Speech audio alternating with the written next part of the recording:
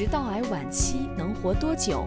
如文医生特邀专家张浩，西安交通大学第一附属医院肿瘤外科主治医师。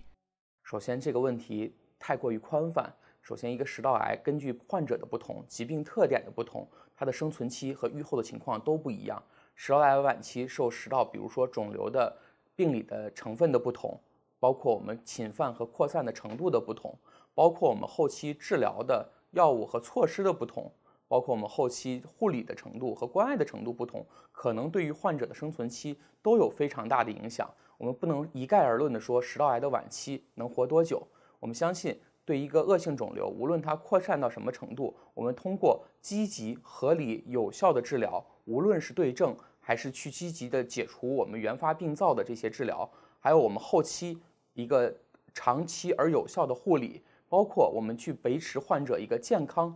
向上的心态都可以有效的延长食道癌晚期患者的一个生存时间，因此这个问题我们不能一概而论。但我们相信，积极有效的治疗和健康乐观的心态都可以改善患者的生存期。是这样的，对于我们绝大多数晚期的患者，我们必须承认的一点是，他肯定他的五年生存要略于我们的早期患者，这是我们不争的事实。就像我们刚才说了，他受到比如说转移到的器官的不同，转移程度的不同。甚至这个不同的晚期也有不同的心理的状态，包括患者当时的体质状态有没有受到其他合并症的影响，都会有不同的。但是整体来说，食道癌晚期的患者五年生存期都相对较差。